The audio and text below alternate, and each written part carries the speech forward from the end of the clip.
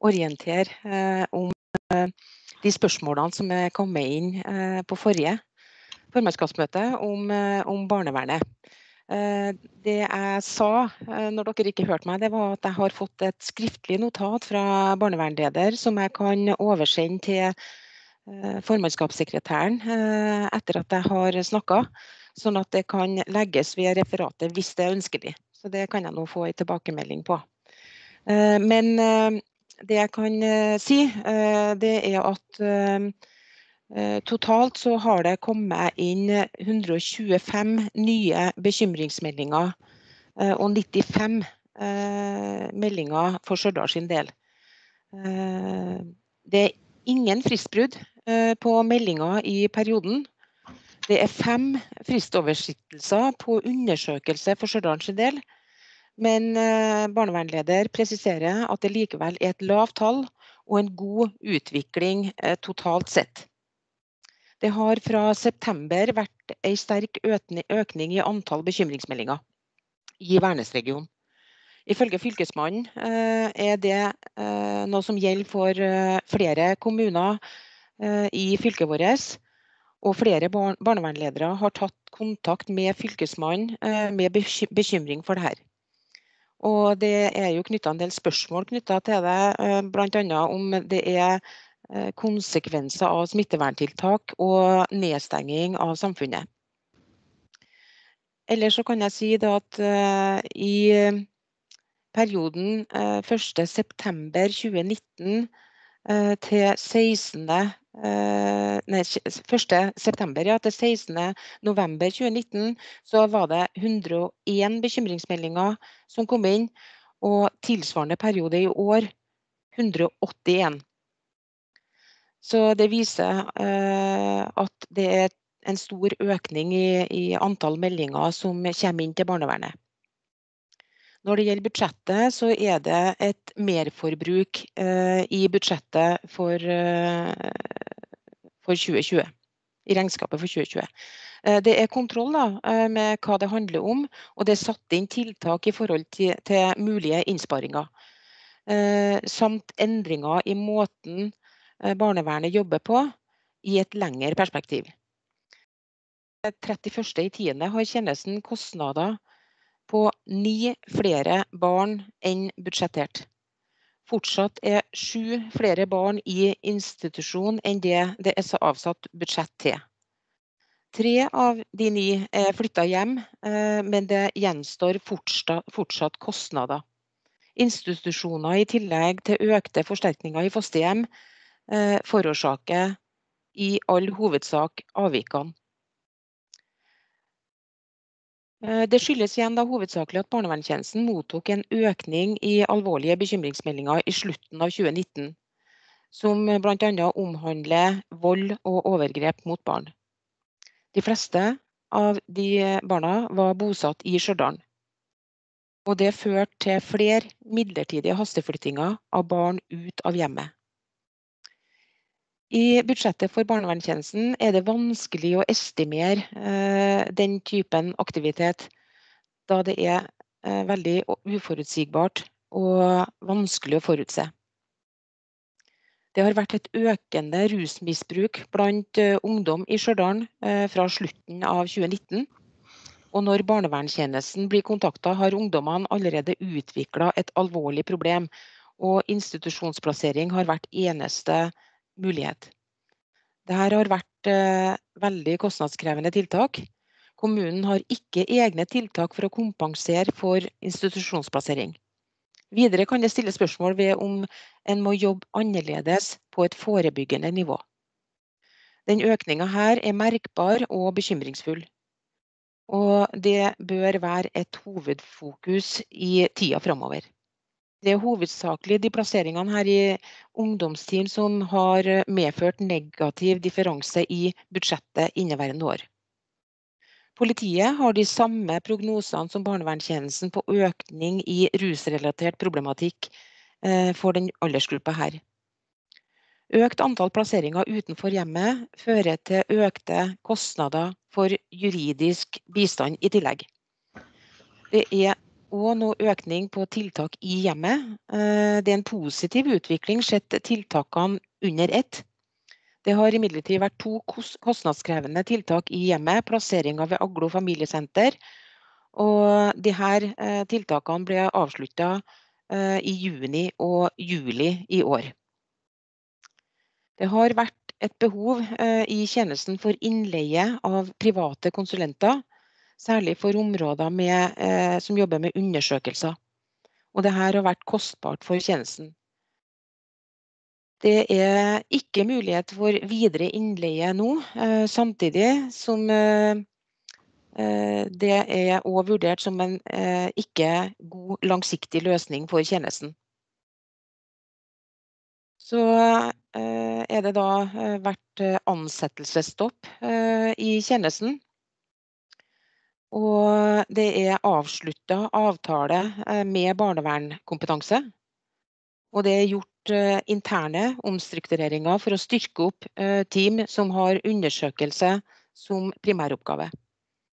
Det her, det har vært vanskelig å lukke avvik og ha nok ressurser til saksbehandling. Så videre så er det en økt prioritet for å delta i tverrfaglige møter og samarbeid med andre i et forebyggende perspektiv. Økt samarbeid med relevante instanser for forebygging av rus hos ungdom, og at barnevernstjenesten kommer inn på et tidligere stadium enn de har gjort i dag. Det er òg satsa på kompetanseheving på rus og ungdomsproblematikk i tjenesten, og det har ble startet opp høsten 2020. Det vil bli benyttet familieråd i større grad, og vi har inngått samarbeid med Bufetat om metodestøtte i familieråd for våren 2020. Det er et økt fokus på slekt- og nettverkstiltak, og det foregår en gjennomgang av alle tiltak i tjenesten, både i og utenfor hjemmet. Det har vært en sterk nedgang i antall plasseringer utenfor hjemmet etter sommeren. Det ble effektuert fire akuttvedtak i sommer, hvor ett av de akuttvedtakene gjelder for Stjørdal sin del. De var av kort varighet, og alle er flyttet hjem igjen nå. Det kan være konsekvenser av pandemi og smitteverntiltak, men hovedsakelig så tror vi at dette skyldes at barnevernstjenesten jobber annerledes nå med de alvorligste sakene. Så barnevernstjenesten vil komme en politisk sak knyttet til endringer i loven og reformen, og endringene i organisering i forhold til VI 2030 kommer vi kanskje litt tilbake til senere i dag. Vil også ha betydning for hvordan barnevernstjenesten skal jobbe i samarbeid med øvrige instanser i kommunen i tida fremover. Det jobbes i tjenesten med plan både internt og eksternt for å møte de nye oppgavene i det som vi kaller oppvekstreformen. Når det gjelder sykefraværet så har det gått ned i år, og var i september på 9,7%. Og den enogtredivte i tiende så var det på 11%, men vi ser en litt bekymringsfull utvikling når vi var inne og kikket på de siste tallene, at det er på vei opp igjen. Og det her har vi et stort fokus på. Det har stor betydning å ha et godt arbeid knyttet til nærvær for å skape den stabiliteten i tjenesten som vi trenger. Utviklingsarbeidet i barnevernstjenesten har vært satt på vent under pandemien, men de er i gang med å revidere kompetanseplanen og planlegge for kompetanseheving i 2021 og langsiktig mot reformen i 2022. Takk!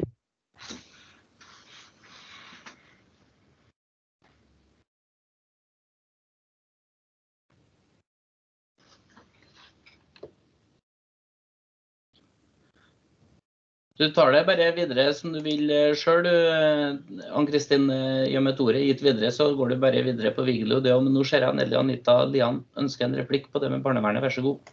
Ja. Ja, takk ordfører. Jeg skal ikke ha noe langt innlegg, men jeg bare vil si takk for den redegjørelsen. For vi har jo brukt og vært litt tett på når det gjelder barnevernet i Stjørdal. Både formannskap og Frp spesielt.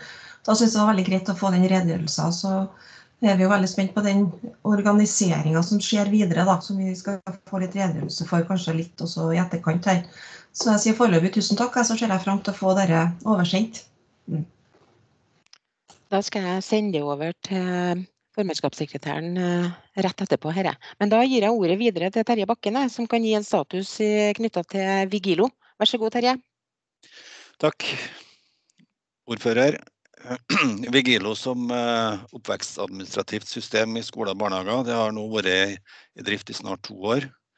Vi starta som, som dere kanskje husker med meldingstjenesten i januar 2019. Det medførte mye utfordringer og mye støy, og var svært dårlig omdømmebygging for eh, Stjørdal kommune. Eh, ved skolestart i 19 så tok vi i bruk resten av systemet med barnehage, barnehageopptak, fraværsføring, timeplanlegging osv. Så, så i desember i 19 så tok vi inn fakturering av eh, barnehage og SFO. Og da kunne vi samtidig si at eh, hele Vigilo var tatt i bruk.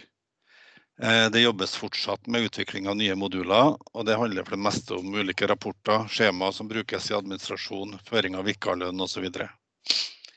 Vigilo som eh, OAS fungerer svært godt. Eh, det er enkelt å bruke, og for det meste så er det sjølinstruerende. Det er i hovedsak skolesekretærer, barnehagestyrere og SFO-ledere som benytter systemet daglig, og de opplever produktet som godt. Men eh, foreldre Eh, de tenker på appen når de hører Vigilo. Eh, appen med meldingstjeneste for kommunikasjon mellom hjem og skole Vigilo har strevd med å levere en stabil meldingstjeneste i snart to år nå. Eh, I begynnelsen så begrunna vi problemet med at Stjørdal kommune ikke hadde tatt i bruk hele systemet. Det førte til problemer med meldingssystemet, trodde vi. Så fortsatte problemene, og vi prøvde å begrunne med at det var voksesmerter i Vigilo. Eh, de fikk mange nye kunder. Eh, og det lova de at de skulle ha på plass i løpet av høsten 2019. Problemene fortsatte inn i 2020, og både skoler og foreldre klaga på denne appen og meldingssystemet. Spesielt kritisk ble det i mars, når pandemien ankom landet. Og i høst eh, har appen likevel vært mer stabil, men fortsatt så opplever foreldre at de ikke mottar meldinger, eh, selv om de kan få varsel om at melding skal være sendt dem. Eh, skolene rapporterer at det er mest kritisk fra morgenen av, mellom klokka kvart på åtte og halv ni. Det er altså når de trenger det som mest. Jeg har ikke vært med i utvelgelsen av eh, dette systemet, og har heller ingen personlig interesse av å forsvare valget som ble gjort i 2018. Likevel så har jeg hele tida ment at vi har bestilt et innovativt uh, OAS som er enkelt å bruke. Det er de samme tilbakemeldingene vi får fra de andre VR-kommunene. Uh, det finnes alternativ, uh, men så vidt jeg vet så har det vært problemer også for dem. Utfordringene i Vigilo ville ikke vært like merkbare om vi kun, kun brukt systemet internt i skole og barnehage, uten eh, meldingssystem til foresatte. Eh, vi kunne likevel ikke ha fortsatt med mobilskole, sånn som vi hadde i 2018. Eh, der opplevde vi store sikkerhetshull og uønska hendelser. GDPR-direktivet har ført til store utfordringer for tilbydere av digitale tjenester. Og det er selvfølgelig bra at personvern settes høyt. Samtidig opplever vi at GDPR vanskeliggjør arbeidet for program, programvareutviklerne. Og noen ganger blir til et eh, direkte hinder for å utvikle en god tjeneste. I Værnesregionen har vi en gruppe bestående av systemansvarlige fra hver kommune. Eh, den gruppa her har nå bedt Fagråd oppvekst vurdere om vi må ta i bruk et alternativt eh, meldingssystem. Vi foreslår å sette en frist til Vigilo på 15.12. Har ikke de fått orden på meldingstjenesten til da, så må vi se etter alternativ, i hvert fall midlertidig. Det vil selvfølgelig være krevende både for skoler og barnehager, og ikke minst foreldrene å ta i bruk et nytt system enda en gang. Det fører òg til merarbeid for ansatte, siden vi da må operere med to system som ikke snakker sammen. Når det gjelder kostnad, så må vi vurdere sammen med jurist om vi kan kreve redusert pris hos Vigilo, så lenge de ikke oppfyller kontrakten på det her. Eh, etter at jeg gjorde Vigilo oppmerksom på hvor alvorlig vi ser på det her, så fikk jeg følgende svar og lovnad fra dem. Det er hovedsak tre utbedringer som uh, de mener skal forelegge om kort tid. For det første så skal appen være oppdatert.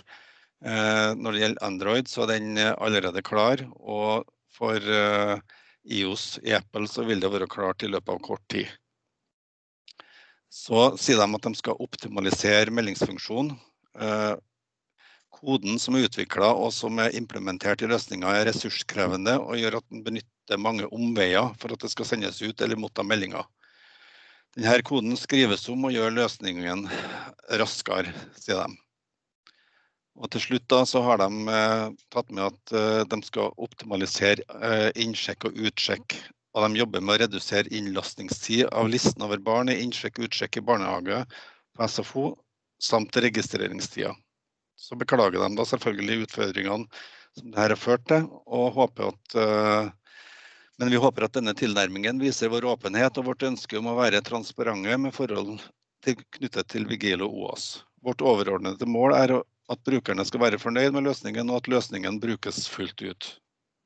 Så vi vil følge godt med på kapasiteten i Vigilos meldingstjeneste nå fram til midten av desember.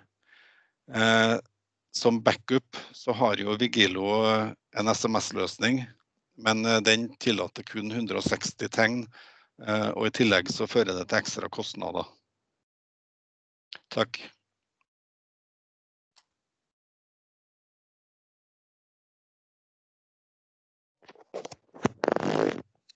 Da var det vel ett eh, Ja, det kjenner en replikk, ja. Eh, slipper til den, ja. Gunnar Uglem, vær så god. Takk for det, ordfører. Altså, det var jo en grei redegjørelse fra Terje Bakken. Der, og jeg bare lurer på om uh, istedenfor å vurdere uh, en annen løsning, om de har vurdert uh, heller å få gratis eller sterkt redusert pris på SMS-løsningen, som er en nødløsning. For det er jo ikke bare bare å hoppe i programvare, som du sjøl var inne på. Takk. Uh, ordfører, vi har ikke diskutert eh, den løsningen om vi skal få billigere eller gratis eh, SMS-løsning, nei. Der, det, der, betaler vi per SMS, så det er en helt annen kostnad enn meldingstjenesten i Vigilo-appen. Den koster jo ikke noe i bruk, der betaler vi jo bare for å, for å ha tilgang til den. Takk. Ja, det er Ole Sandvik. Ja, ordfører. Eh, det var litt i samme gata som eh, representanten Unglem her. Eh, jeg tenker at Hvis vi har inngått en avtale og betaler en sum, så, så er det jo for en fullfunksjonibel løsning. Når det, når det da ikke er fullt ut sånn som vi forventer, så er det jo naturlig at en da har en tilsvarende reduksjon i kostnadsbildet. Og for å følge opp det som eh, Uglem var inne på, så er det jo helt naturlig da, at eh, når leverandørene anerkjenner erkjenner det at, de ikke, eh, at ikke det de får til er godt nok. Altså det, for oss som kunde så vil jeg si at det er jo helt uinteressant hvordan de har koda det og de bruker det som forklaring. Vi er ute etter at det fungerer. Sånn at Da er det jo naturlig at de da tilbyr andre løsninger, selv om de er mer kostbare. Rett og slett for å sørge for at vi som har forplikta oss eh, overfor både foreldre og ansatte med å skaffe et system som fungerer, eh, og at, eh, at selskapet som ikke har levert, sørger for at alle virkemidler tas i bruk frem til at de klarer å fikse problemet. Så at det sporet som Ugla var inne på, det syns jeg vi skal forfølge. og Det er helt naturlig at vi ikke betaler full pris for et system som ikke fungerer 100% Takk.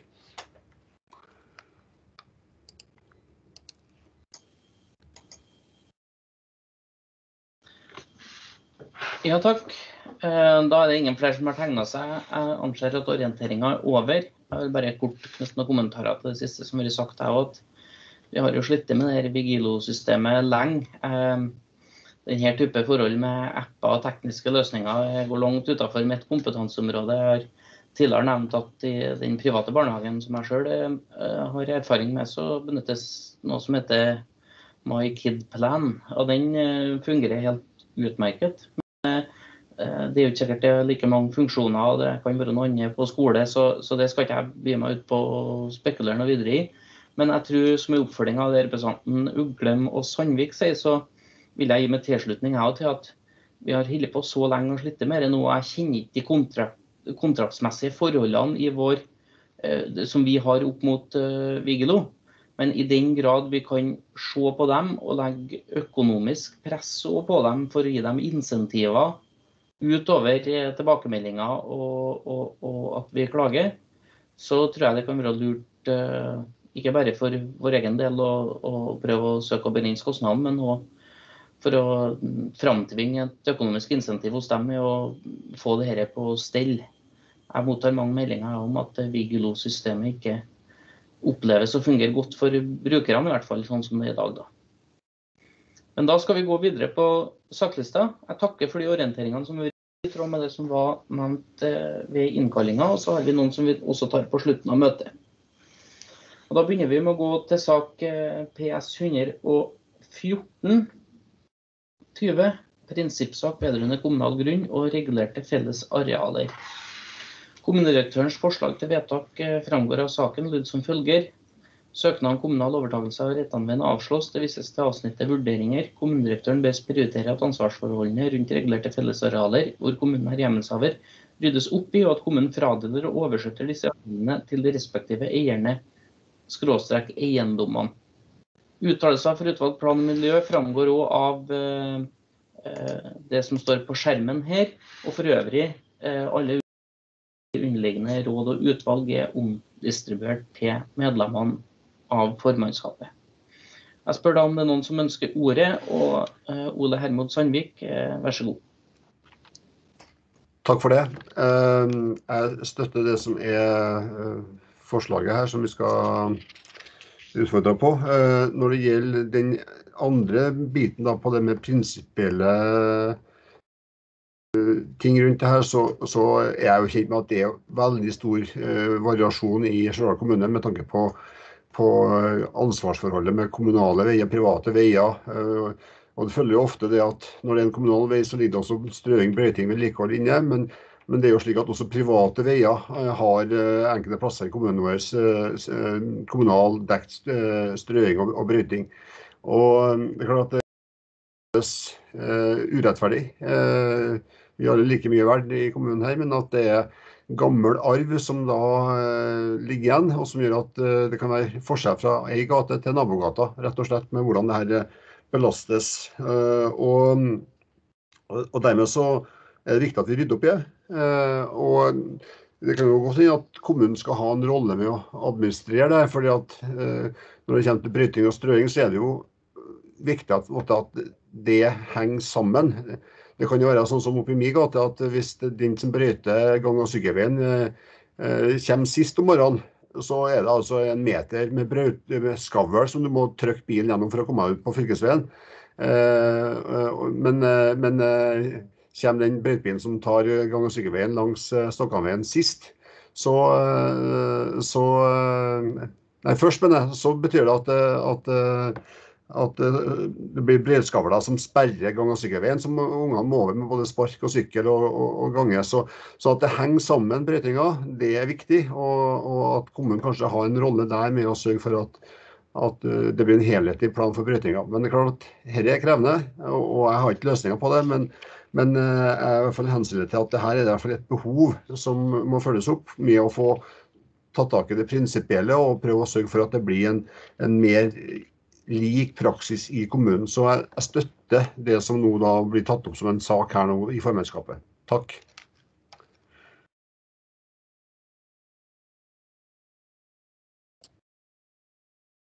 Unnskyld, da det er Nelly Anita Lian, Fremskrittspartiet. Vær så god.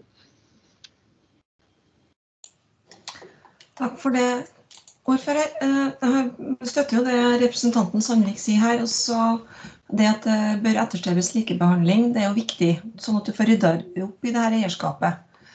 rundt overtagelse av regulerte fellesareal. Da får vi samsvar mellom det reelle eierskapet og matrikkelen.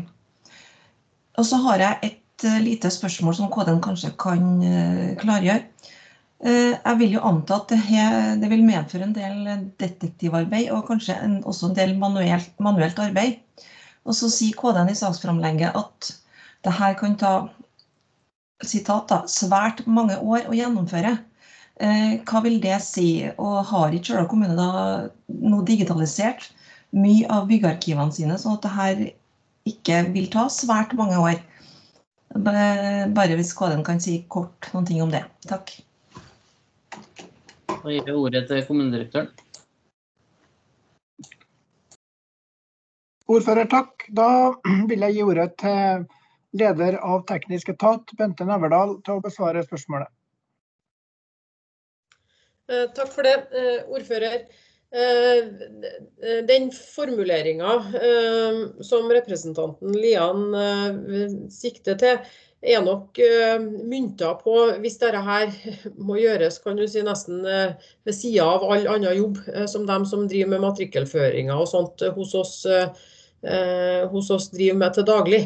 Eh, vi kommer jo til å vurdere dersom dette blir vedtatt, eh, på hvilken måte vi gjennomfører her. For vi ønsker jo å få gjort dette så raskt som mulig. Så er det nok eh, enkelte områder som vil være ganske raske å få, gjennomført det på. Og så vil det nok være andre ting som, som krever litt mer detektivarbeid. Nettopp fordi det kan være veldig gamle saker og det kan være veldig mange involverte. Men, men vi ønsker å få gjort den oppryddinga her så raskt som vi har mulighet for å få gjort det. Nettopp fordi at det, det, er, det er, noe med det å få denne matrikkelen eh, i orden, og ikke minst få, få, en ordentlig oversikt over hva som faktisk er kommunen sitt eie og kommunen sitt ansvar.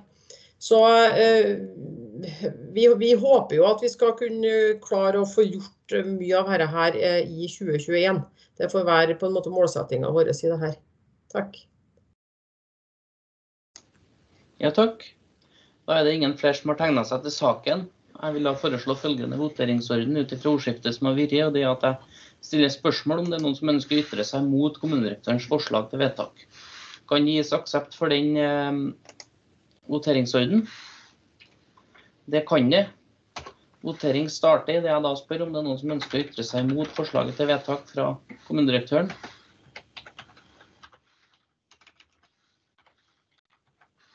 Så synes det ikke å være, og kommunedirektørens forslag til vedtak er enstemmig vedtatt.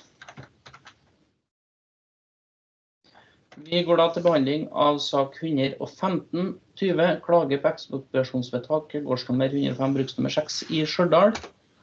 Og jeg spør om kommunedirektørens forslag til vedtak i at klagen sendes fylkesmann i Trøndelag for behandling. Er det noen som ønsker ordet?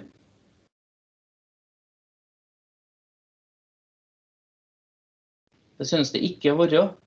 Ordføreren ville anføre at uh, ordlyden i kommunedirektørens forslag til innstilling i denne saken må forstås sånn at den ses i sammenheng med den øvrige saksframstillinga, da vi der tar selvstendig stilling på selvstendig grunnlag til klagens innhold og anmerkninger.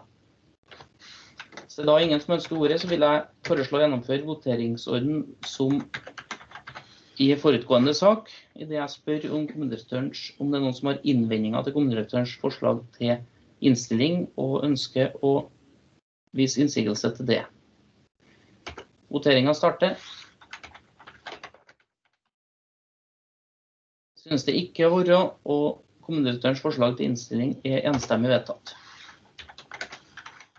Vi går da til neste sak.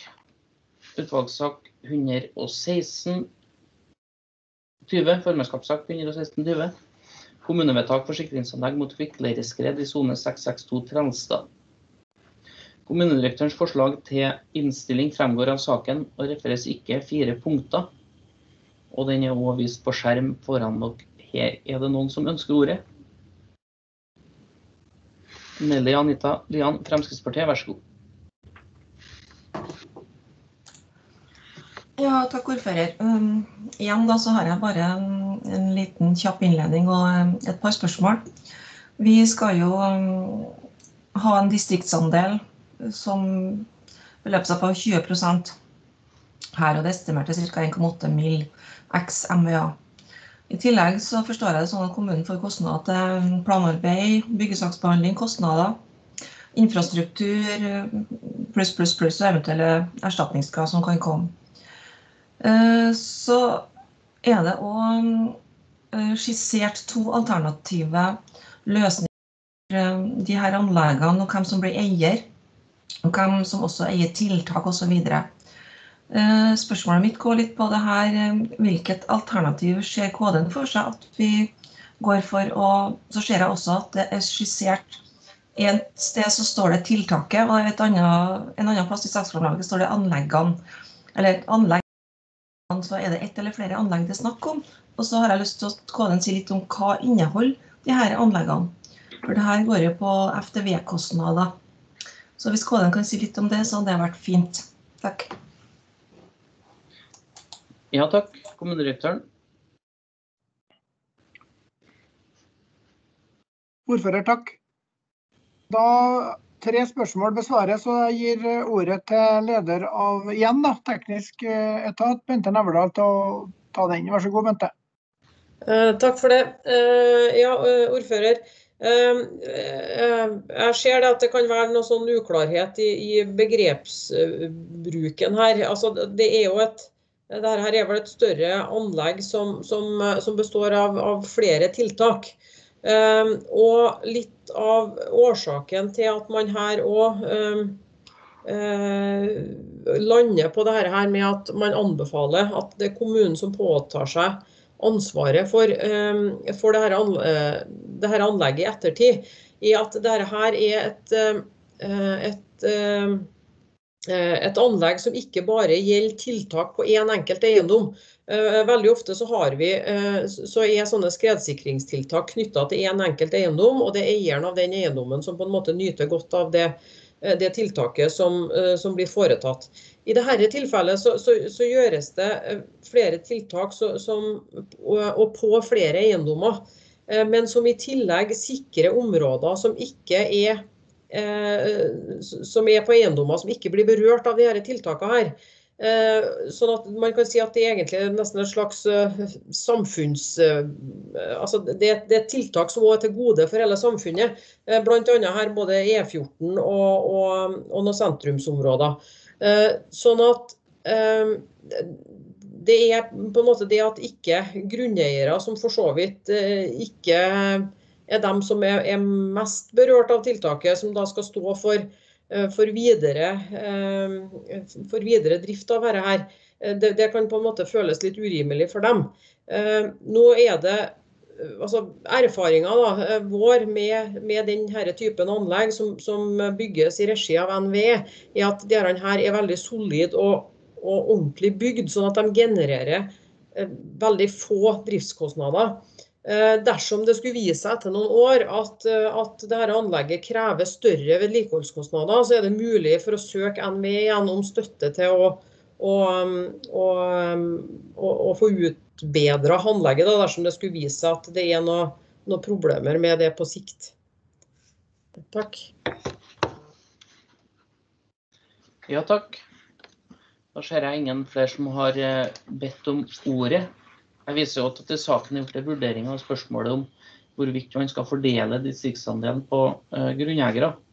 Som et generelt utgangspunkt så tror jeg i hvert fall at det er viktig at det vurderes i hver enkelt sak. Og da med uh, det som utgangspunkt at uh, kommunen skal fordele, viderefordele noe av kommunene med distriktsandelen til grunneiere og som har nytte av tiltaket. Det har vi vært litt opptatt av i andre saker. Eh, også for at det her summene vi bruker på ras- skredsikring skal kunne rekke mest mulig. Men jeg viser til den konkrete vurderinga i dette enkelte tilfellet. Men jeg har lyst til å gi uttrykk for det på generelt grunnlag. Det er ingen flere som har bedt om ordet. Jeg vil da foreslå at vi gjennomfører votering på samme vis. Tar opp hele kommunedirektørens forslag til innstilling til votering, og at jeg da spør om det er noen som ytrer seg imot. Er det noen som ytrer seg imot kommunedirektørens forslag til innstilling? Det synes det ikke å være, og forslaget er innstillinga dermed vedtatt, enstemmig vedtatt, de fire punktene. Vi går da til formannskapssak 117, som er Trondheim havn, utvisjonering av eiendommer fra Trondheim havn og etablering av eiendomsselskap, utviklingsprosjekt Nyhavna og Vestre kanalhavn. Kommunedirektørens forslag til innstilling fremgår av saken i fire punkter og refereres ikke. Jeg spør om det er noen som ønsker ordet. Da er det Espen Myhr Grandarsmo, Rødt, vær så god. Takk for det, ordfører.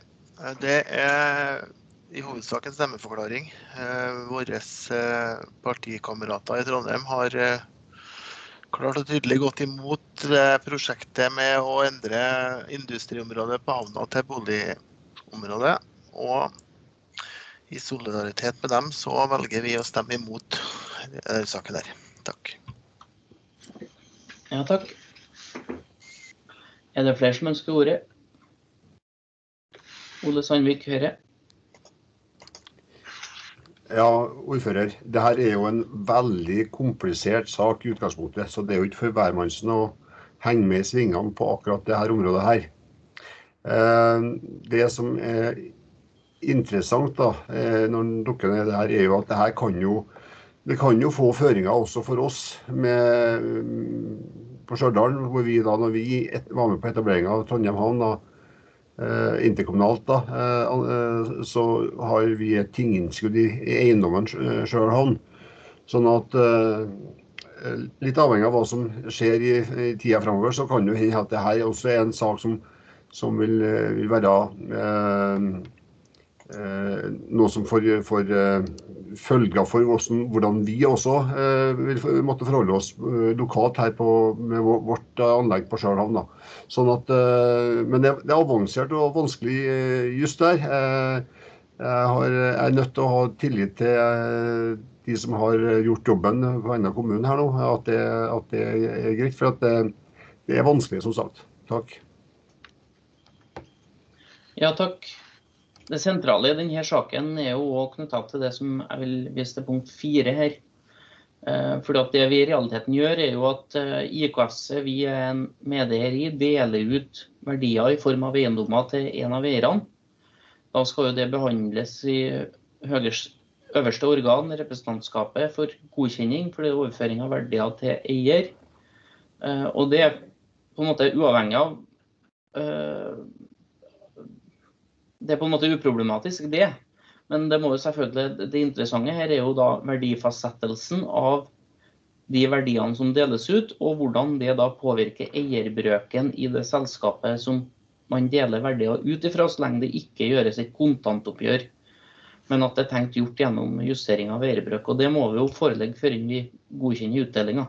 Men rent prinsipielt så kan ikke jeg se at det er noe grunn til å være mot at Trondheim havn kvitter seg med disse eiendommene Eh, etter ønske fra Trondheim kommune som, som eh, medeier.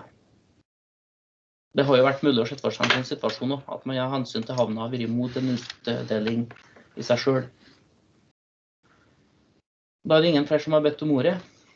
Jeg vil da foreslå voteringsorden i tråd med det som er gjort i de forutgående sakene, og spørre om det er noen som ønsker å ytre seg mot kommunedirektørens i saken.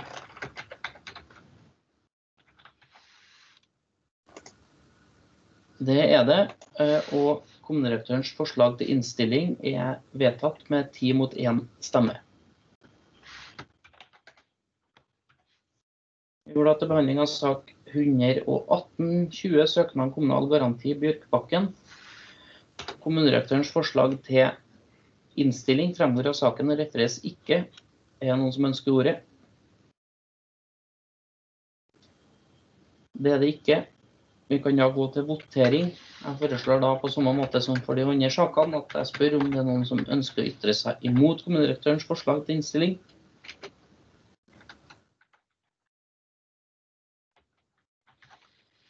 Det synes det ikke å være kommunedirektørens forslag til innstilling er dermed enstemmig vedtatt. Vi går da til behandling av sak 119-20 Komsek Trøndelag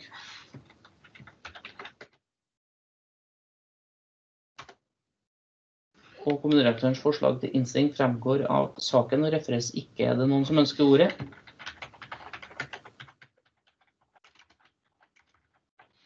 Det synes det ikke å være. Jeg spør da om det er noen som ønsker å ytre seg mot kommunerektørens forslag til innstilling.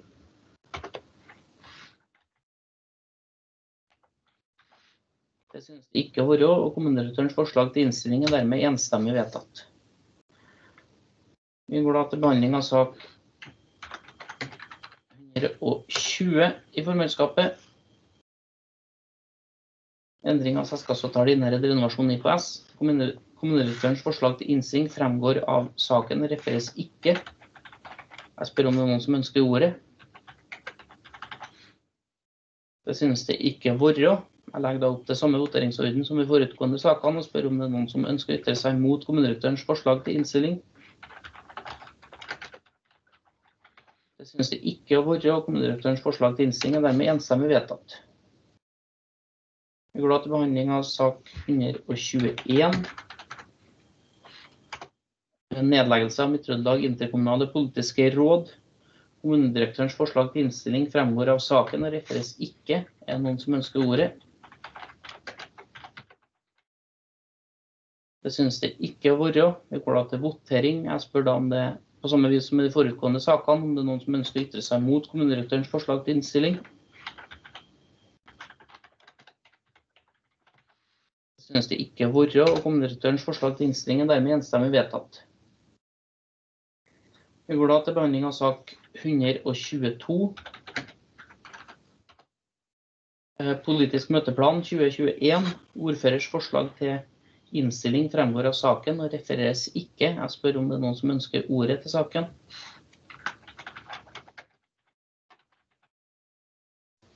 Jan Inge Kaspersen, Arbeiderpartiet. Deretter Ole Sandvik. Ja, takk, ordfører. Eh, nå vil jeg sikkert Sandvik svare på det jeg tenker å spørre om. Eh, for jeg legger merke til at uh, i utvalg for plan og miljø i alle fall, så har man uh, sett at arbeidsutvalget for trafikksikkerhet mangler i møteplansoversikten. Og at de ønsker at det legges inn på samme dag som Eldrerådet, Ungdomsrådet og Rådet for mennesker med nedsatt funksjonsevne. Så jeg regner med at varaordføreren nå tar ordet og sier at han er positiv til å legge inn kalenderen. Hvis ikke så vil jeg foreslå det etterpå. Takk. Ole Sandvik, Høyre. Ja, ordfører er jevnt over en positiv kar. Eh, men jeg skulle si at jeg synes ikke at representanten eh, fremmer det forslaget. Eh, fordi at det var jo ikke en forglemmelse når det ikke lå inne i utgangspunktet. Sånn at det var jo knytta opp til det at, at en så for seg det gjennomføringa i forbindelse med at det var møte i, i plan- og miljøutvalget i utgangspunktet. Sånn at, eh, og at det heller ikke var slik at det var kanskje behov for å ha et møte i, i underutvalg trafikksikkerhet hver eneste uke heller. Eh, eller hver gang det var, eh, var møte i de ulike råd og utvalg som er satt på de nevnte dagene. Sånn at jeg foreslår at det fremmes et forslag om det i så fall. Jeg kommer ikke til å, å legge det inn på egen kjøl. Når det gjaldt det andre som vi utfordra på, så var det jo det som gikk på ungdomsrådet og eldrerådet og mennesker med nedsatt funksjonsevne, hvorvidt de skulle ha møte i den uka hvor vi hadde formannskapsmøte, hvorvidt de skal ha eh, møte i den uka hvor vi har kommunestyremøte. Eh, og det, Helt enkelt så gikk jo det på eh, teksten i saksomlegget, eh, hvor vi ser at det er både fordeler og bakdeler med begge løsningene, men at de da ble stilt overfor et, et valg, eh, hva de ønska. For det er klart at eh, Slik som eh, tilfellet nå, hvor de har møte i den uka hvor vi har formannskapsmøte, så har de altså ingen temperatur på hva, på hva politisk eh, måtte mene om de sakene som er opp til behandling den inneværende uka, i og med at de er først ute i, i rekka av de som skal uttale seg om sakene. Sånn at eh, hvis en da hadde lagt møter i ungdomsrådet og Eldrerådet om Rådet for mennesker med nedsatt funksjonsevne til den mandagen i uka med kommunestyremøte, så hadde en jo kunne ha fått uh, i hvert fall uh, forslag til innstilling som da ble gitt i formannskapet og i for seg de to utvalgene vi har. Samtidig så er det jo en del ting som sluttbehandles også. sånn at det er en avveining hva en da mener er viktigst. Eh, de tre eh, rådene har uttalt seg, og alle sammen er enige om at de ønsker å opprettholde den møtedagen de har per i dag og har hatt de siste årene. Sånn at det er kjent for alle sammen som da er formannskapet også, at de har gjort det i reft av utskrift fra saksbehandlinga i, i råd og utvalg tidligere i denne uka. Så var det jeg ville kommentere. Takk. Ja, takk. Da var det Jan Inge Kaspersen, Arbeiderpartiet, deretter ordfører. Ja, takk, ordfører. Nei, Da forstår jeg sånn at det ikke kommer inn av seg sjøl, i alle fall det her med trafikksikkerhetsutvalget. Og Da ønsker jeg å fremme det tilleggsforslaget som ble vedtatt i utvalg for plan og miljø her i møtet. Jeg regner med at det kan legges inn. Grunnen til at jeg mener at det er en god idé, det er jo nettopp det viktigheten av det her utvalget. Vi har veldig mye veier i Stjørdal. Veldig mange innbyggere opplever at de har områder som ikke er trafikksikre. Vi vet jo at i Stjørdal kommune er veldig mange unger som får gratis skoleskyss pga. trafikkfarlig vei. og det, det medfører jo en del utgifter også for, for kommunen ekstra. Så jeg tenker at for, for, tryggheten til innbyggerne så er det viktig at vi har et sånt utvalg som kan jobbe aktivt på veisaker. Og så ser jeg at strukturen har vært litt vanskelig med dagens organisering av det, der man har prøvd å få det til før møtene, men så er det ofte befaringer og andre ting som dukker opp før utvalgsmøtene. Sånn at jeg er helt enig med planutvalget om at det bør legges inn i kalenderen, sånn at innbyggerne har forutsigbarhet for når møtene er, og ikke minst de som sitter i utvalget. Så er det jo sånn fortsatt da, at lederen kan avlyse møter der det er få eller ingen saker. Takk. Ja, takk. Da var replikk Ole Sandvik. Ja, takk for det, ordfører. Jeg vil bare understreke at jeg har absolutt den oppfatninga at dette er et viktig utvalg. Sånn at det har ingenting med det når jeg da sa noen ting om plassering av møtedagen. Jeg deler representanten Kaspersen sin, sin kommentar rundt viktigheten av utvalget. Så i hvert fall at det er klart. Takk. Ja, takk. Da har ordføreren tegna seg. Um, jeg er ikke helt konkludert ennå. Det er en stemmeforklaring jeg på akkurat dette med møtetidspunkt for underutvalg trafikksikkerhet. Men uh, jeg skal prøve å forklare litt hvorfor jeg, uh, jeg er usikker. Uh, vi må huske på det at når vi foretok en reorganisering av den politiske strukturen etter valget, så la man ned komité kultur, næring og miljø, og så sa man i tråd med det som da var, skulle være ny gjeldende kommunelov, med opprettelse av underutvalg, at det her trafikksikkerhetsutvalget skal være et underutvalg under utvalg plan og miljø i stedet. Det skulle representere en effektivisering, samtidig som det skulle representere en mer eh, gjennomgående representasjon. Og hensikten bak dette der, det var jo at, det var jo at eh, underutvalg trafikksikkerhet ved å være, ha gjennomgående representasjon i utvalg plan og miljø, ikke trengte å ha egne møter på de sakene som skulle sluttbehandles i utvalget plan og miljø. For der møtte man jo da i sin helhet uansett. De treene som sitter ut underutvalget, møter jo i utvalget plan og miljø. Så for de sakene som var tillagt Trafikksikkerhetsutvalget, som har sin sluttbehandling i utvalget plan og miljø, så ville da det vært ivaretatt gjennom at medlemmene i det nye underutvalget trafikksikkerhet jo sitter i utvalget plan og miljø.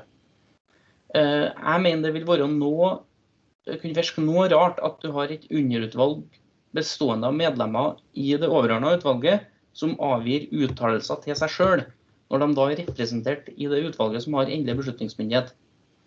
Det representerte en effektivisering i form av at de sakene som hadde endelig da sluttbehandling i utvalg plan og miljø, kunne gå til sluttbehandling i plan og miljø uten forutgående behandling i trafikksikkerhetsutvalget, vel vitende om at de som hadde et særlig ansvar for trafikksikkerhet, sitter i utvalg plan og miljø uh, uansett.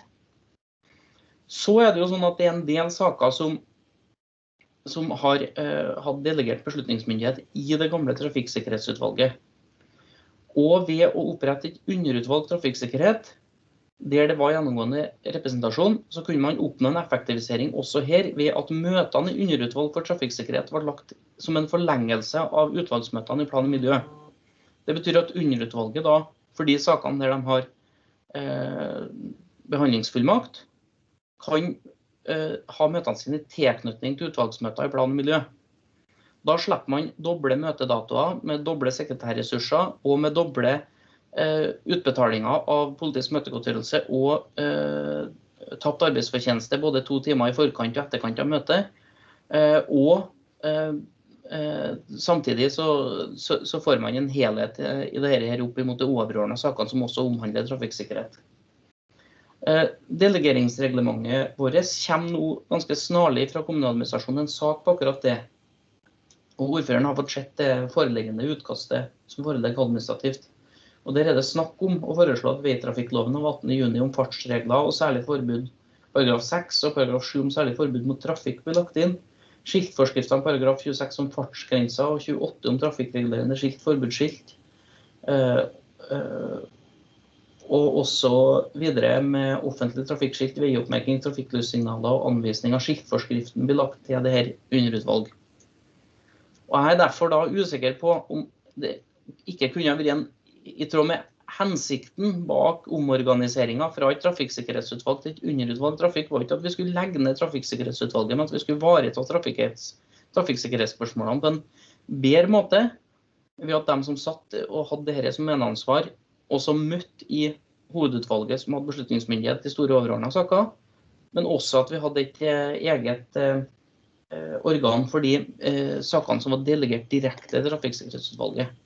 Så jeg lurer på, og det er stemmeforklaringa mi i dag, om det ikke er en bedre oppfølging av det, også hensett mot hva vi tenker om delegering og innenfor rammene av den nye kommuneloven, at underutvalg for trafikksikkerhet har sine møter i etterkant av utvalgsmøtene i plan og miljø. Eh, for jeg ser ikke helt hensikten med at de avgir uttalelse inn i et møte hvor de selv er fullt ut representert. Det er utgangspunktet. Da var det Jan Ingen Kaspersen, Arbeiderpartiet. Replikk, vær så god. Ja, takk, ordfører. Uh, nei, I tillegg til det som ordføreren nevner, så er det viktig for, for innbyggerne tenker at det er et uh, forutsigbarhet rundt tida som uh, trafikksikkerhetsutvalget skal møte. Eh, og så har vi jo hatt en, en prøve nå på, eh, på, å ha det før de politiske møtene. og har, eh, De har slitt med å komme i gang med den strukturen, i alle fall. Og så tror jeg det er blitt litt likere nå. Men jeg ønsker i alle fall at vi får votert på forslaget. Så er det, Jeg hører at ordføreren har, har kunnskap om saken på delegering som skal komme. Som ikke vi andre i formannskapet har. Er det sånn at den saken er levert klar til politisk behandling, eller er det har ordføreren eh, vært med på saksforberedende behandling. Takk. Ja takk. Ordføreren har fått sett utkastet sånn som det foreligger før fremsending til politisk behandling.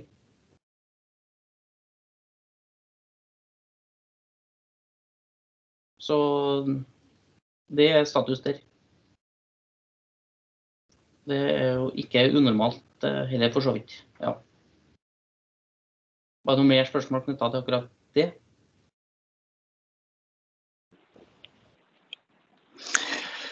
Nei, Jeg antar jo at eh, ordføreren ikke tar del i saksbehandlinga, men at eh, det er et dokument som da er klart til politisk behandling. Ehm, så vil jeg sikkert komme tilbake hvis vi ser at det ikke dukker opp til politisk behandling innen eh, kort tid. I og med at det nå er klart. Takk. Selvfølgelig det er både riktig og uriktig. Det er ofte at, får, at, ordføreren får spørsmål om å komme med innspill og synspunkter til saker som vedrører det politiske organiseringa, f.eks. i dette tilfellet. Da. Eh, men, men, det forslaget som vil bli innstilt fra kommunedirektøren, er kommunedirektørens forslag.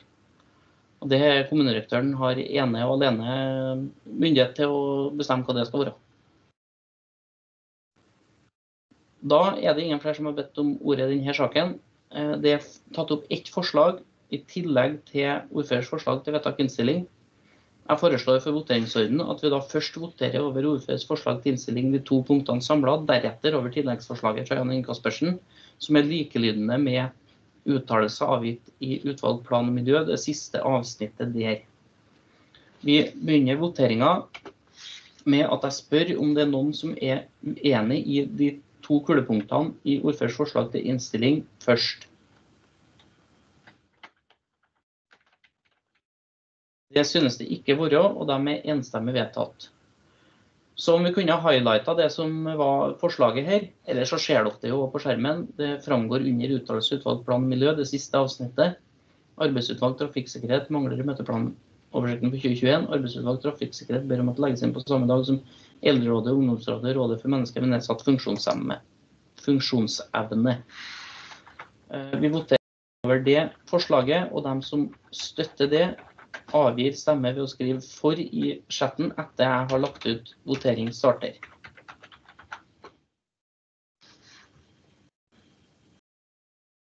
Og votering starter.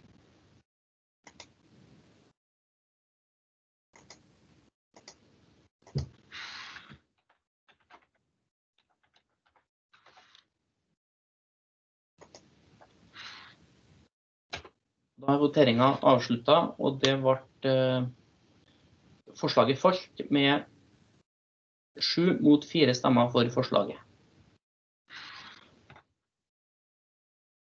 Vi er da ferdig med sak 122 og kan da gå til behandling av sak 123, som er boligsosial handlingsplan 2020-2023. Kommunedirektørens forslag til vedtak fremgår av saken og refereres ikke. Er det noen som ønsker ordet?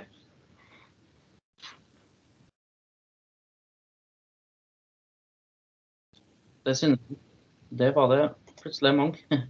Det var litt forsinkelser her til meg. Skal vi se. Da er det Renate Børsol Høyre først, deretter Nelly Lian. Takk, ordfører.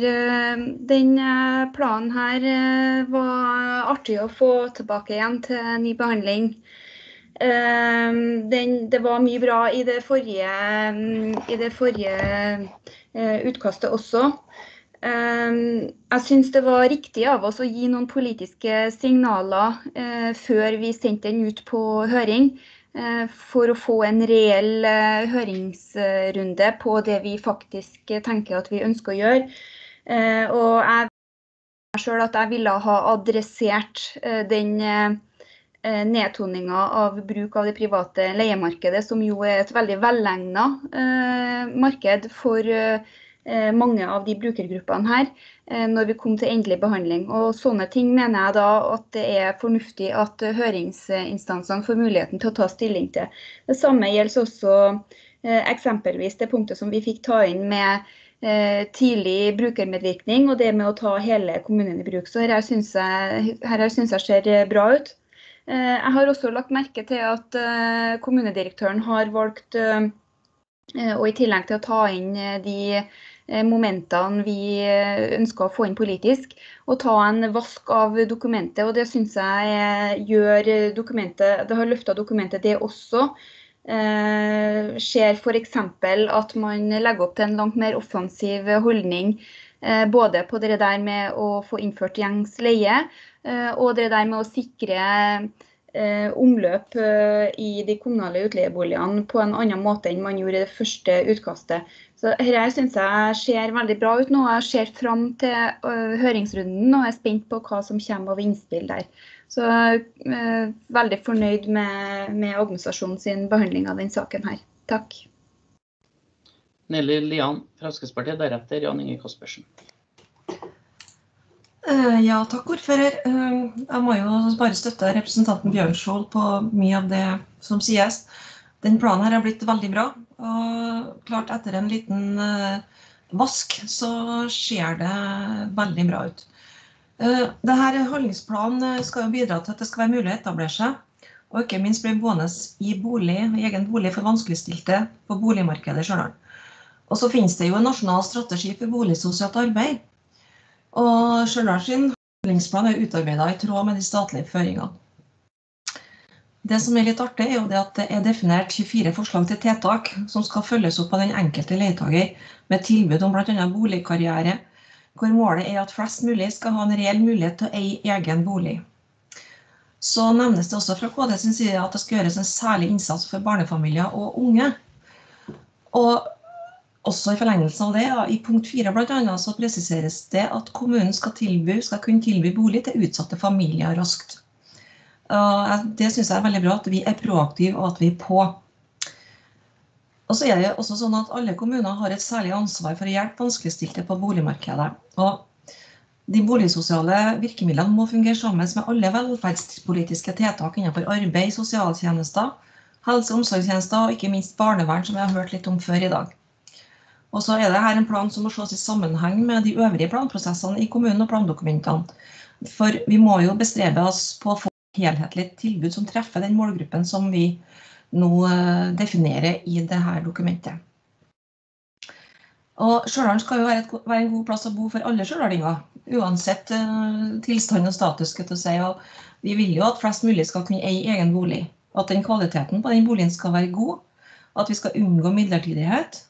Og vi ønsker jo å legge til rette for at flest mulig skal få lov til å bo i egen bolig så lenge som Det går jo også på universell utforming.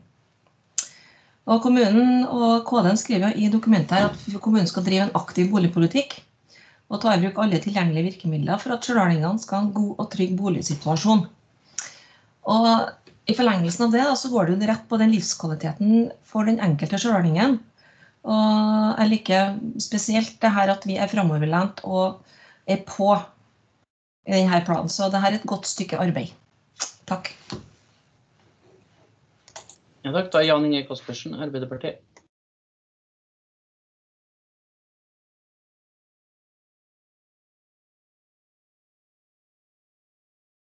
Nå hører vi ikke deg, Jan Inge. OK, der er jeg, vet du. Eh, takk, ordfører. Jeg er glad for at vi eh, nå kan sende denne planen ut på, på, høring.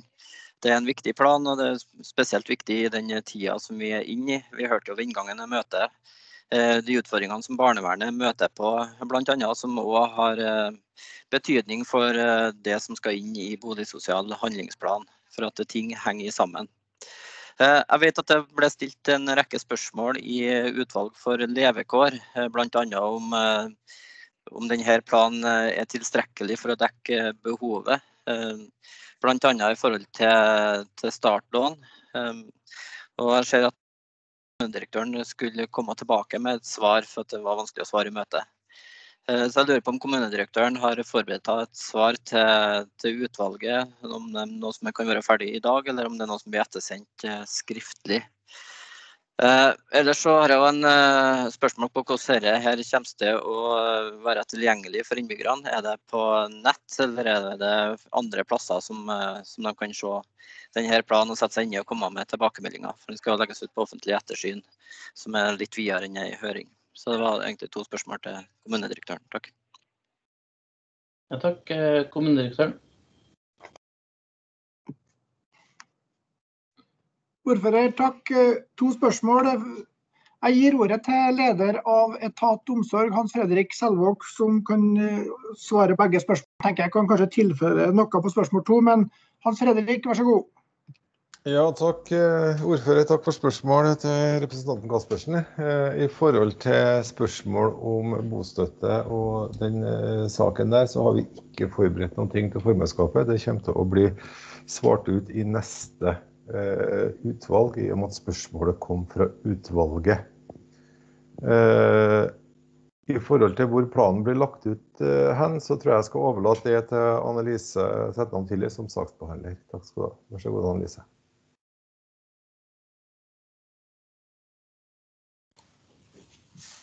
Ja, hei. Eh, jeg hadde ikke forberedt noe svar på det, men altså, det er jo klart vi må jo eh, Planen blir jo lagt ut til offentlig ettersyn. Da må den jo i, eh, annonseres i bladet, det er naturlig. Vi må nå òg legge den ut på hjemmesida, og da vil jo ta kontakt med kommunikasjonsavdelinga for å spre det. Det kan jo være naturlig å ta det inn kanskje på Facebook og det som vi har av Eh, men jeg har ikke lagt noen plan for det, men det skal vi nå ivareta, tenker jeg. Takk. Ja, ordfører eh, Anne Lise har jobba grundig med det her. Har ingenting å tilføye i forhold til den tanken rundt informasjon. Det syns jeg var veldig godt beskrevet, Anne Lise. Så vi anser svaret avgitt. Takk. Ja, takk. Kaspersen, replikk. Ja, takk for svaret. og det er Svaret var som forventa, at man bruker nett aktivt. og Det er jo den beste kanalen for å nå innbyggerne. Eh, men når det legges ut til offentlig ettersyn, så i en normalsituasjon så burde det vært et eksemplar og tilgjengelig i, eh, for innbyggerne, f.eks. på biblioteket eller på rådhuset. Nå gjør jo de smittevernreglene dette litt utfordrende, så det var egentlig den biten med innbyggere som, som ikke er så mye på nett, hvordan de skal ha mulighet til det. Men at ikke alt er planlagt per nå, det, det har jeg forståelse for. Ehm, så bare, bare om at kommunedirektøren tar med også de momentene på veien videre. Takk. Ja takk. Da er det ingen flere som har eh, bedt om ordet. Eh, ordføreren vil da eh, spørre på samme måte som de andre voteringsordnene har vært gjennomført her, om det er noen som ytrer seg mot kommunedirektørens forslag til vedtak.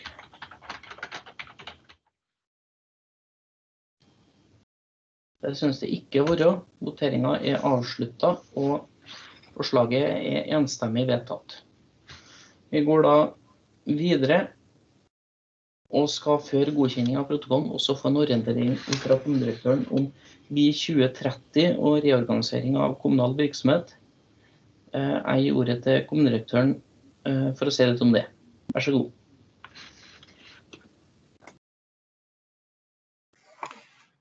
Ordfører, takk. Jeg viser til tidligere orienteringer i formannskapet og skal ikke gjenta bakgrunn og hensikt for mandat som er gitt i vår og, og gjentatt også i tidligere eh, vedtak. Eh, men jeg har lyst til å starte med å si at eh, jeg vil berømme eh, mine kollegaer her. Eh, det er ledere og ansatte med deres representanter her som eh, viser stor evne til å kritisk evaluere og legge i potten hva er det beste for befolkninga, hva er det beste for, for, eh, for Stjørdal kommune. Jeg hører på diskusjonene, jeg ser på innspillene. Eh, Dette er en endringsvillig kommune, det tør jeg å si. Eh, momentet rundt de gode diskusjonene og muligheter for å ta de, de riktige beslutningene her, er til stede. Og det tror jeg det er veldig smart nå å utnytte, og det vil i hvert fall jeg forsøke å gjøre. Eh, når det er sagt, så har jeg lyst til å si at en organisasjonsstruktur er jo et middel og ikke et mål i seg sjøl. Stjørdal kommune er jo en stor organisasjon, og en verden i endring så må også kommunen endre seg. Gjennom, gjennom la, oss, la oss kalle det uh, omløpshandel f.eks. for bedrifter, som bare for en del år siden så hadde vi bedrifter som ble 100 år. Nå er de jo 10 og 15 og 20 år gamle. Bare, bare den endringstakten i næringslivet betyr at jeg tror en kommune må også endre takten på hvordan en jobber på mange vis eh, framover. Og det kikker vi på som en, en del av også i forhold til omorganiseringa her. Eh, for mange mennesker er jo kommunen et slags sånn siste skanse. Vi har et stort ansvar for å være lean. Og med lean så mener jeg at, da, at vi da leverer god nok kvalitet rettidig, sømløst og på en kostnadseffektiv måte. Så kan dette høres ut som, som en sånn festtale og floskler, men det er faktisk eh, svært viktig at vi har dette for oss hele tida. For i det her ligger det at vi blir forutsigbare, og at vi tar beslutninger og faktisk leverer når det forventes. Og da er vi inne på det med at vi, ha, vi må ha alltid en organisasjon som legger til grunn for at vi klarer å ha de gode prosessene, at de er grundige nok. Og at ledere har fullmakter til å ta beslutninger. Det er også et krav, en forventning fra kommunestyret i forhold til mandatet i Vi 2030 at man setter et sterkt fokus på linjeorganisasjon på kjernevirksomheten. Her forventes det endringer. Det har jeg merka veldig sterkt, og det tør jeg si nå etter overkant av fire måneder i stolen her. At ansatte blir sett enda mer, at vi har enda mer fokus på å levere opp mot kjernevirksomheten. Jeg føler et stort ansvar for å styrke nærledelse i den sammenhengen. Men også på den strategiske sida. Så i en verden i endring så bør vel kommunene generelt i Norge, også oss, bli enda flinkere til å se i glasskula. Det, det betyr flinkere til å gjøre de gode analysene, de gode prognosene om hvordan blir verden, hvordan vil vi at Stjørdal skal være. Fremtida, den kommer jo ikke, den skapes jo. Så jeg, jeg, tør allerede nå jeg skal, jeg skal si litt på slutten i forhold til hvor vi står an i prosessen, men jeg tør allerede nå å si at her ligger det an til vesentlige endringer i Stjørdal kommune sin organisasjonsstruktur. Jeg vil organisere kommunen på en måte som gjør oss mindre topptung. Jeg vil gjerne organisere kommunen sånn at vi stimulerer samarbeidet på tvers.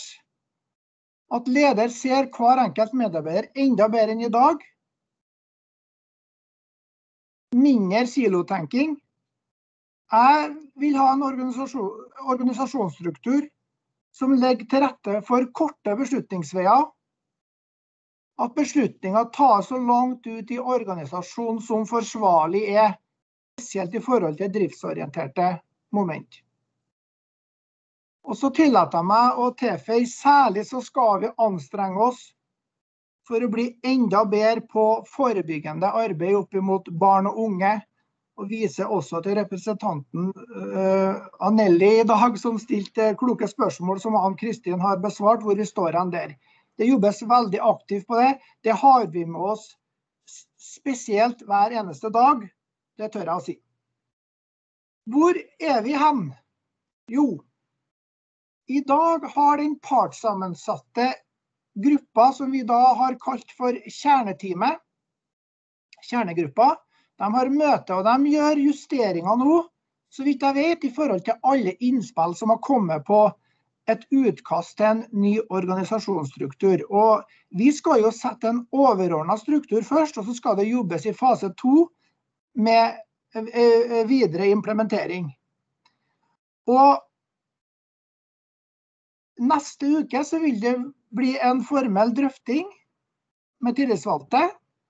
Selv om tillitsvalgte er med tett her, eh, det har de sagt sjøl at de er, føler at de er, at her er det reell medvirkning, så løfter vi selvfølgelig et eget drøftingsmøte. Og dette skal også selvfølgelig opp i AMU så vil kommunestyret neste torsdag få en grundigere orientering hvor også konkret organisasjonsstruktur på overordna nivå, med et lite dypdykk i hvordan man kan tenke seg videre organisering, samt en foreløpig tidsplan.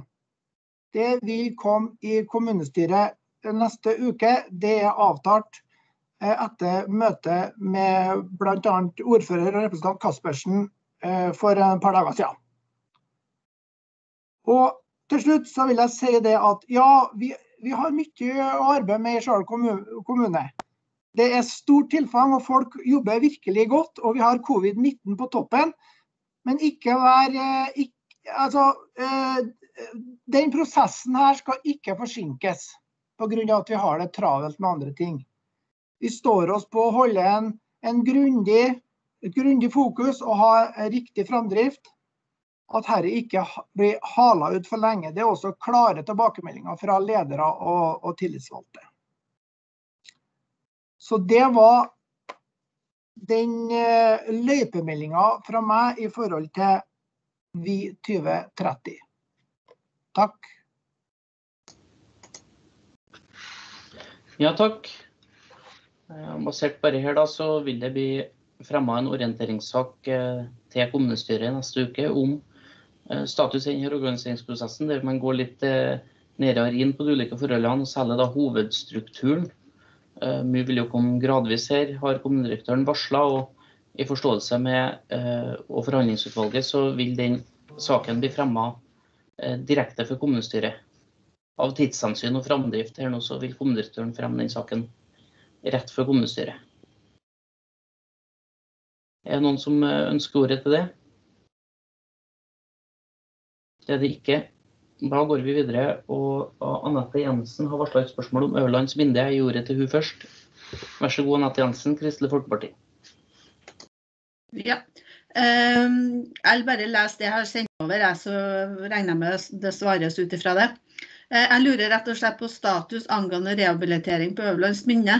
Og Grunnen til at jeg lurer, det er at det skulle ifølge planen ha vært starta nå i oktober. Og nå er det jo straks desember, og det har fortsatt ikke skjedd noen ting.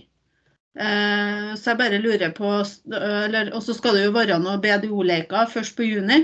Så lurer jeg på om det kan stå ferdig til da. Takk. Da gir jeg ordet til kommunedirektøren for å svare på det. Ordfører, takk. Jeg gir ordet videre til leder av teknisk etat, Bente Neverdal. Vær så god. Takk for det, eh, ordfører. Ehm, eh, de arbeidene her har nå vært eh, ut på anbud, og vi driver og kontraherer entreprenøren nå i disse dager. Vi har vel egentlig bestemt entreprenør, men jeg vet ikke om det er offentlig ennå, så jeg kan ikke gå ut med det. Men, men vi greier å holde framdrifta, sånn at anlegget skal stå ferdig til de her BDO-lekene i juni. Takk. Ja takk, et oppløftende svar der altså. Da er vi kommet ned eh, saklista. Vi har òg behandla orienteringa i starten av møtet og spørsmål og orienteringa ved slutten av møtet. Men før vi avslutter helt, så skal vi ha gjennomgang og godkjenning av protokollen. Og jeg gir ordet til formannskapssekretær Mette Vigdal for det.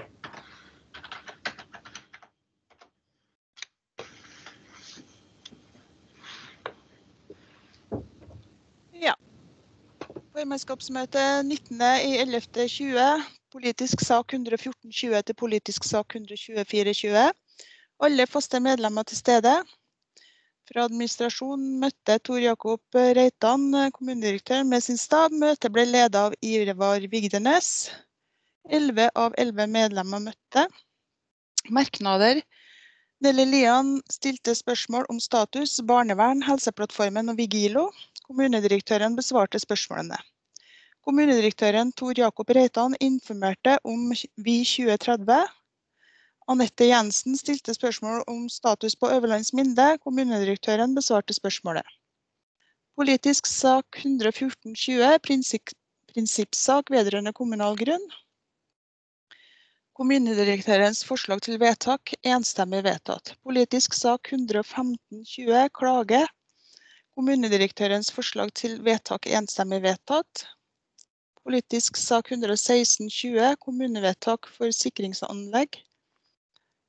Kommunedirektørens forslag til innstilling, enstemmig vedtatt. Politisk sak 11720, Trondheim havn. Kommunedirektørens forslag til innstilling, vedtatt med ti mot én stemme. Politisk sak 11820, søknad om kommunal garanti. Kommunedirektørens forslag til innstilling, enstemmig vedtatt. Politisk sak 11920 Komsek Trøndelag, IKS. Kommunedirektørens forslag til innstilling enstemmig vedtatt. Politisk sak 12020 Endring av selskapsavtale, Innherred renovasjon. Eh, kommunedirektørens forslag til innstilling enstemmig vedtatt. Politisk sak 12120 Nedleggelse av Midt-Trøndelag interkommunale politiske. Eh, kommunedirektørens forslag til innstilling enstemmig vedtatt. Politisk sak 12220, politisk møteplan.